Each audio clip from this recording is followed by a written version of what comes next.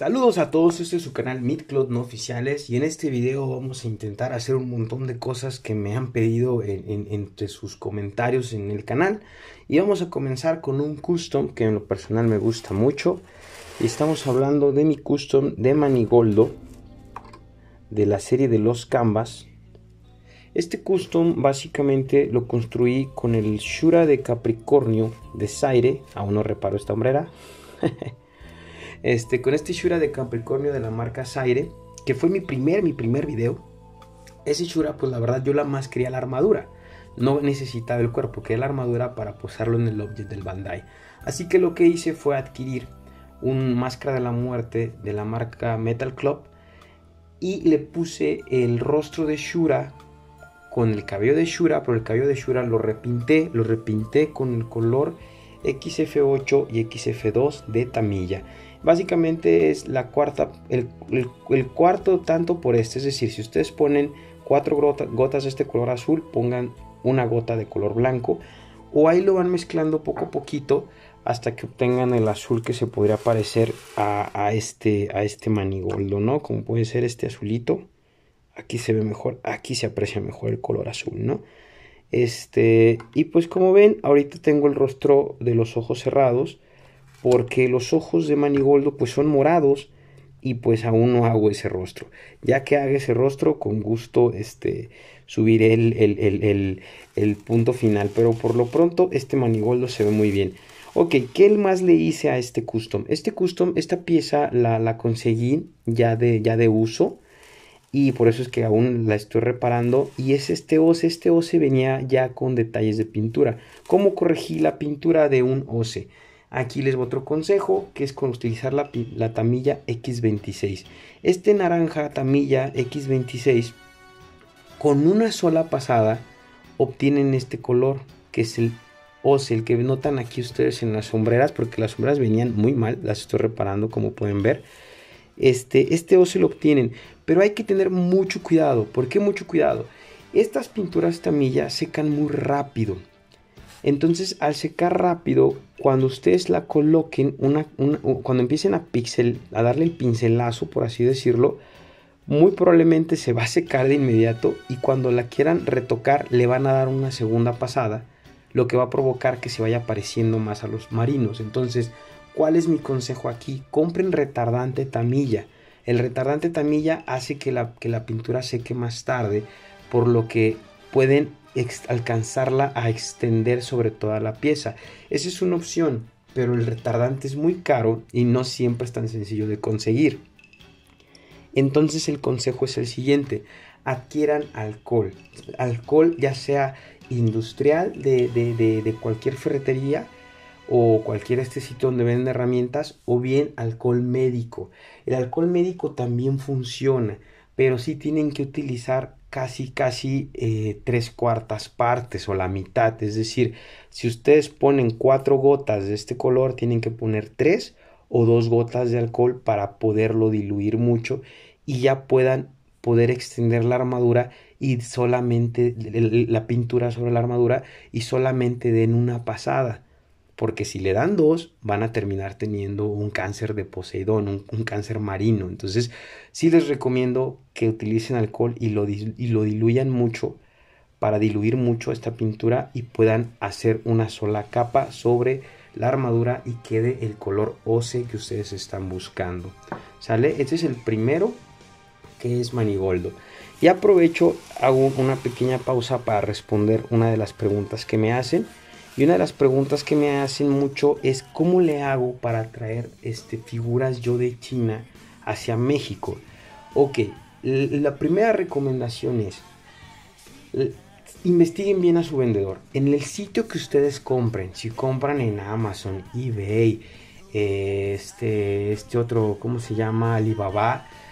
Investiguen mucho al vendedor. Yo les recomiendo que agarren vendedores que tienen más del 98% de reputación y hagan preguntas, pregúntenle mucho, ya se ha enviado a México o no, que el sitio donde ustedes compren que tenga seguro de venta. Si la pieza no les llegue, que les haga un reembolso. Esos consejos básicos de cualquier compra en línea. Cualquier compra en línea sigan esos consejos. Segundo consejo para China. China tiene un montón de envíos.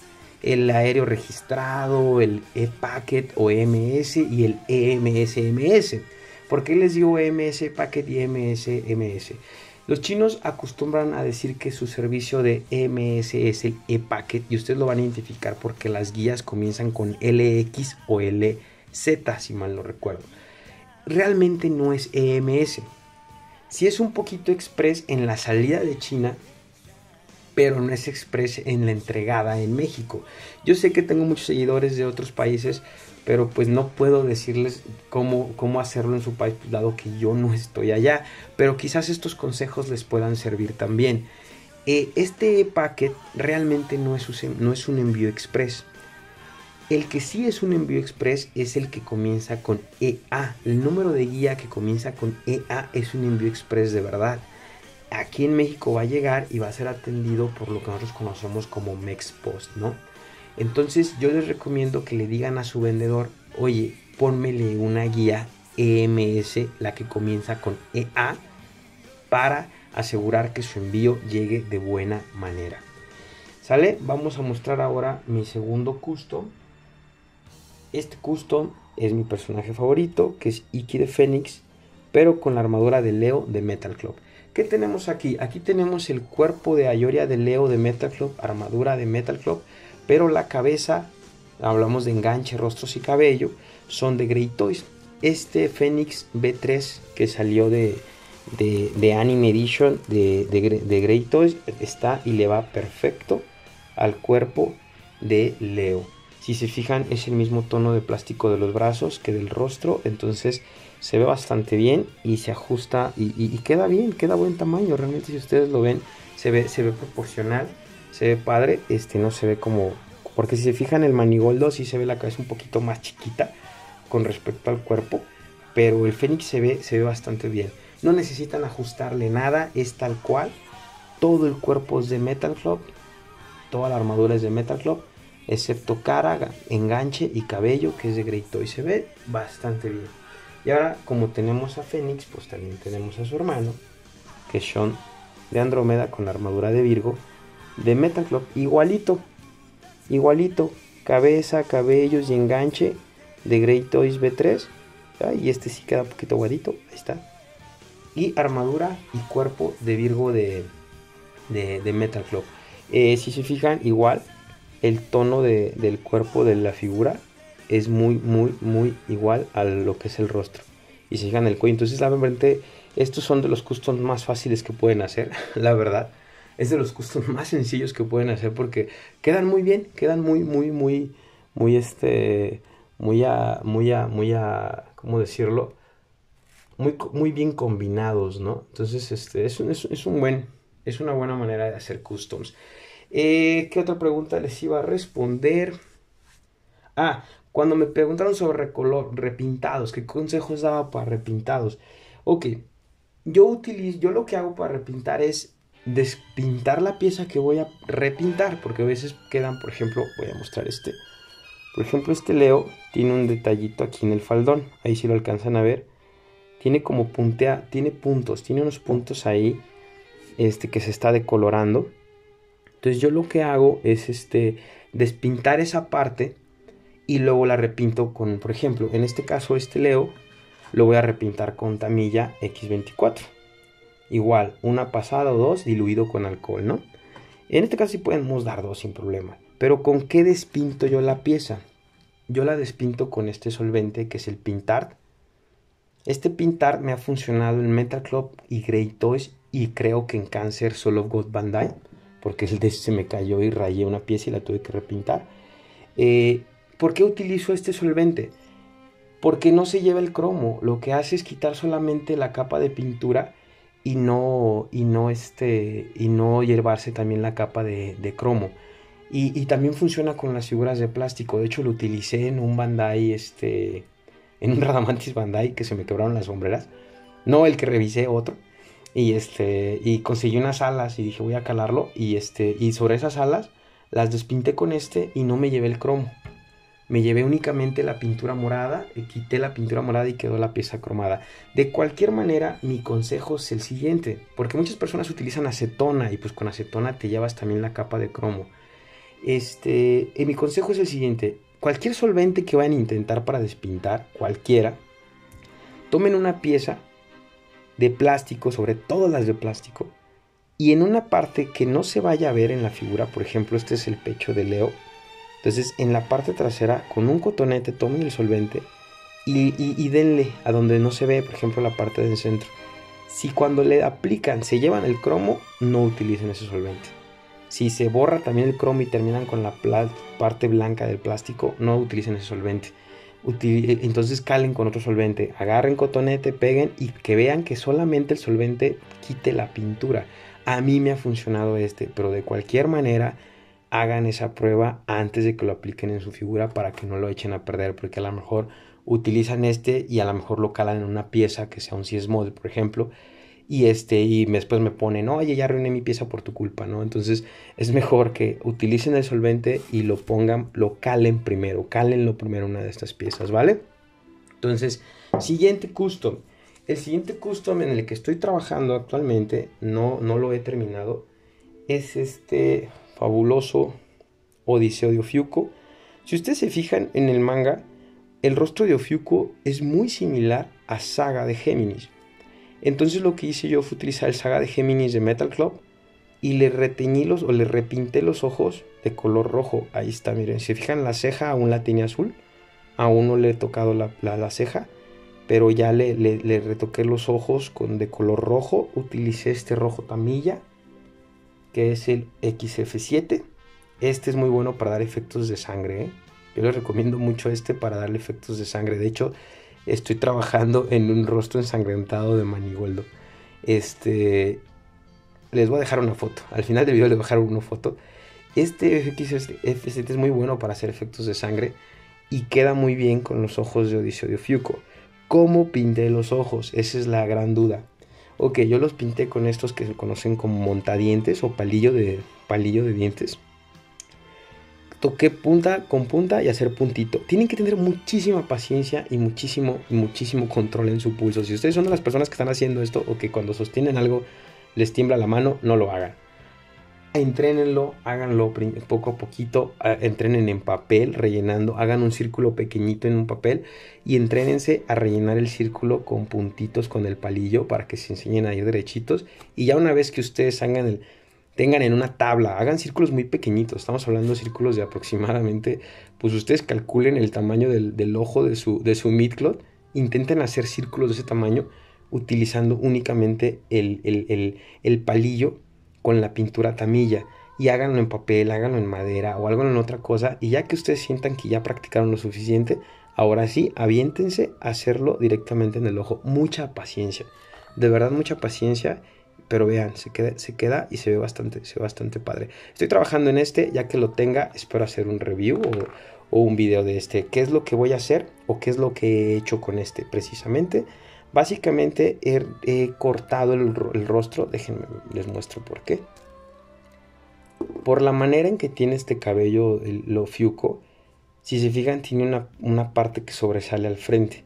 Entonces esta pieza queda, queda, queda estorbando con un rostro digamos normal.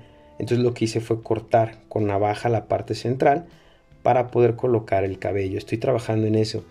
Y lo bueno es que como queda la, tiara un poco separada de lo que es la frente del rostro, eso me va a permitir ponerle un mechón, o sea, no, no, nos queda así, si se fijan, queda como un poquito más separado cuando pongo el cabello, entonces eso me va a permitir poner mechones, esos mechones los voy a sacar de un, de un, este, ¿cómo se llama? Minos, entonces ya tengo por ahí mi plan, ¿no? Ya cuando lo haga, eh, créanme que les voy a poner cómo lo hice, ¿no?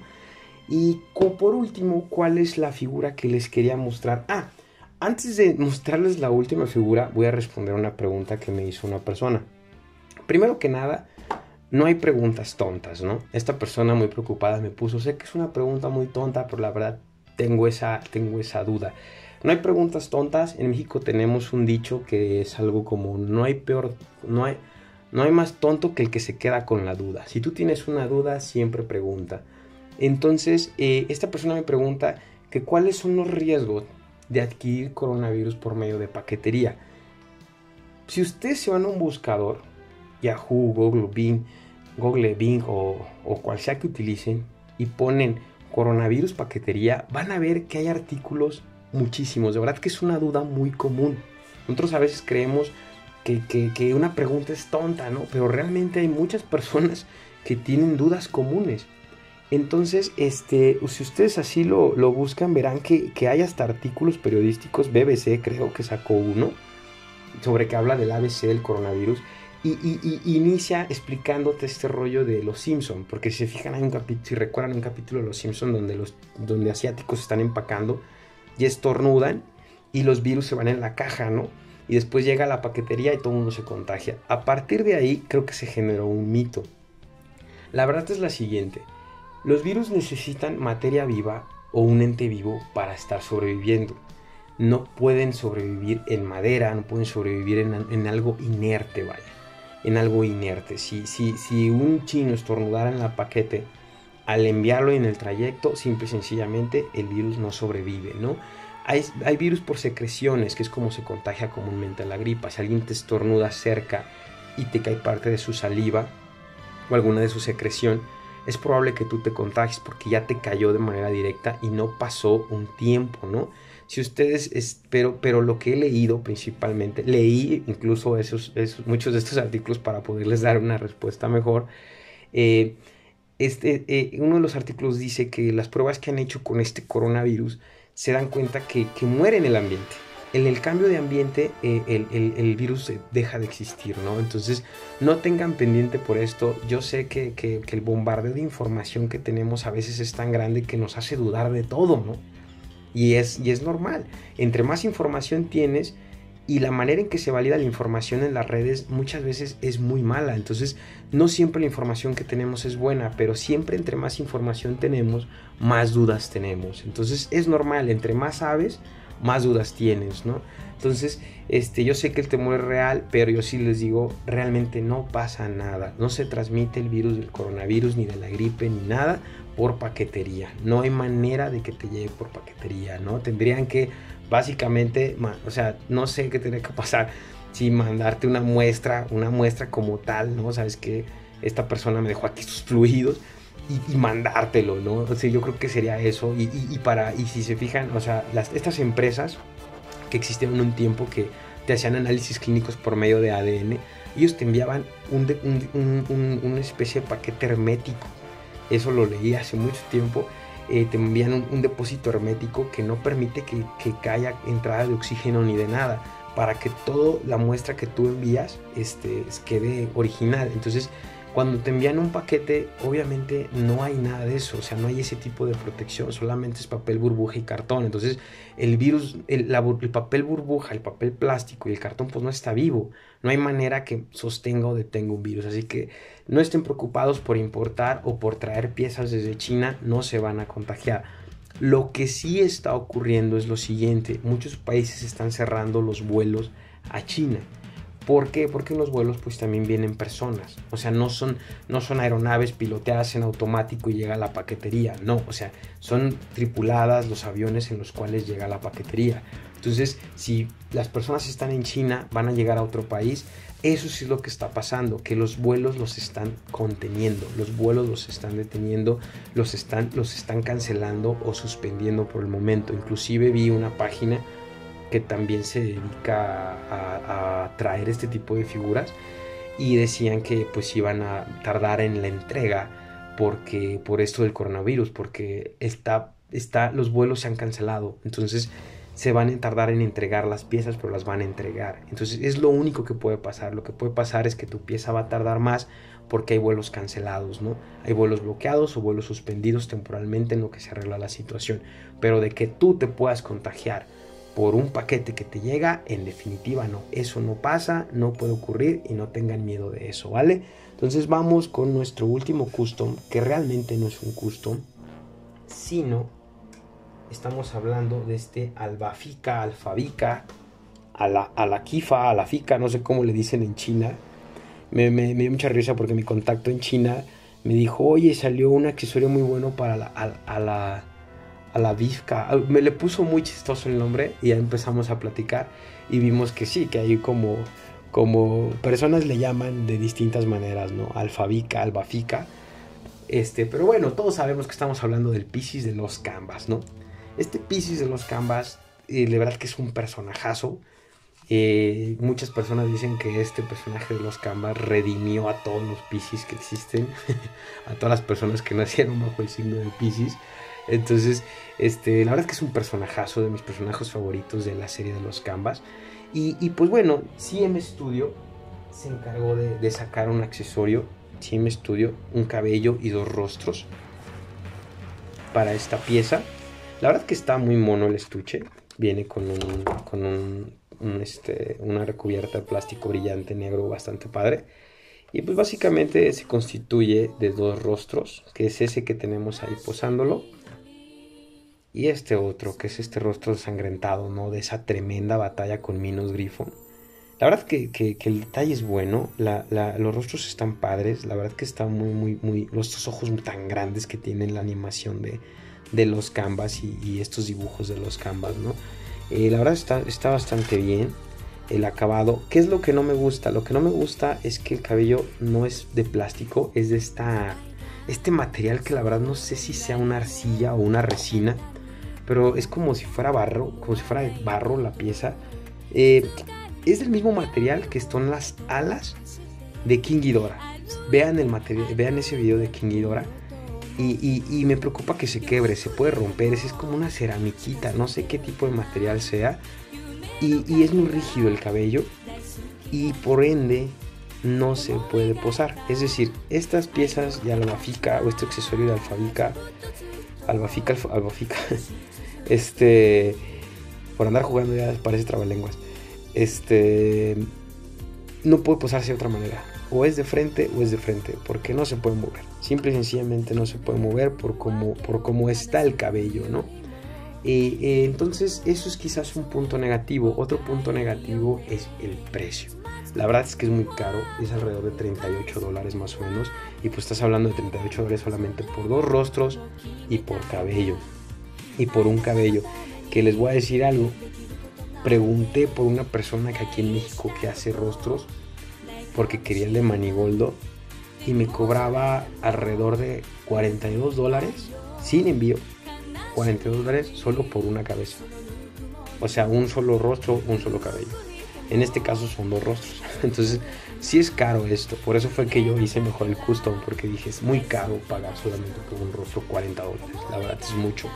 Y creo que no quedó mal Manigoldo, la verdad me gusta mucho Manigoldo. Pues bueno, eso sería todo. Creo que he resuelto todas las dudas que, o gran parte de las dudas que, me han hecho llegar. Y aparte pues les di dos, tres consejillos sobre pintar y, este tipo de cosas. Pues bueno, aquí les dejo parte de mis customs, parte de mi colección. Que también me han dicho, oye, deberías de sacar un video o fotos de toda tu colección. La verdad es que tengo espacios muy pequeños y nunca tengo mi colección completamente posada. Pero bueno, algún día espero poder hacer algo así, aunque sea en una serie de fotos, ¿no?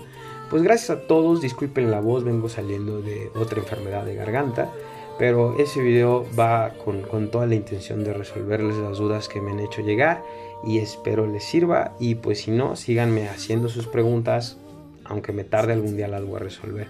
Y suscríbanse al canal, síganlo compartiendo y pues nos vemos hasta la que sigue. Saludos a todos.「